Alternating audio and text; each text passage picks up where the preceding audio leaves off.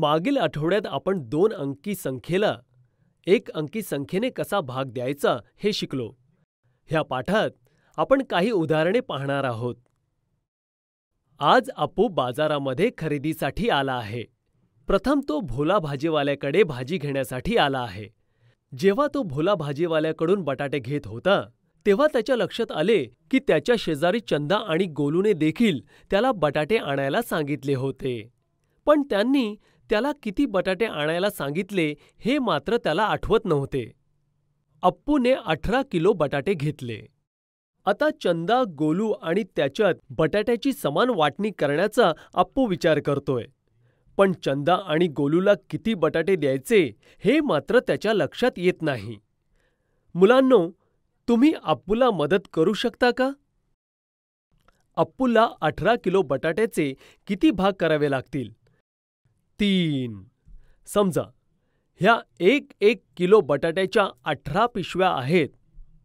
आता जर आपण अठराचे तीन बरोबर भाग केले तर प्रत्येक भागात किती बटाटे असतील?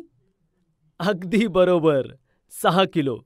अप्पूने चंदा आणि गोलूला सहा सहा किलो बटाटे दिले पाहिजेत.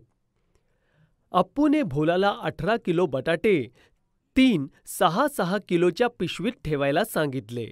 आणि पुढे बाजारामध्ये वस्तू घेण्यासाठी गेला. आता अप्पू बडबोले काकांच्या दुकानात आला.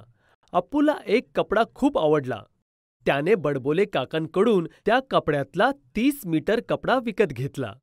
घरी जाताना अप्पूने विचार केला की त्याला आणि त्याच्या खास मित्राला त्या कपड्याचा सारखाच शर्ट शिवूयात. आता अप्पू विचारात पडला की शर्ट शिवण्यासाठी गोलूला किती मीटर कपडा द्यावा लागेल? मुलांनो तुम्ही सांगू शकता का की अप्पू ह्या प्रश्नाचे उत्तर कसे काढेल? हो अप्पूला त्या तीस मीटर कपड्याचे दोन समान भाग करावे लागतील. समजा हे एक एक मीटरचे तीस कपडे आहेत. आता ह्या तीसचे दोन समान भाग करायचे असतील तर प्रत्येक भागात किती मीटर असतील? अगदी बरोबर! पंधरा मीटर. अप्पू काकांच्या दुकानात परत गेला आणि त्या काकांकडून तो कपडा दोन पंधरा मीटरच्या तुकड्यात कापला. आता अप्पू तो कपडा देण्यासाठी गोलूच्या डेअरीवर गेला. गोलू आनंदी झाला आणि त्याने अप्पूला सत्तावीस लिटर दूध दिले आणि म्हणाला आपण नऊ मित्र मिळून ते दूध पिऊयात. मुलांनो तुम्ही सांगू शकाल का? की अप्पूच्या प्रत्येक मित्राला किती लिटर दूध मिळेल? शाबास मुलांनो! तुम्ही याचे अगदी योग्य उत्तर सांगितले. अप्पूच्या प्रत्येक मित्राला तीन लिटर दूध मिळेल.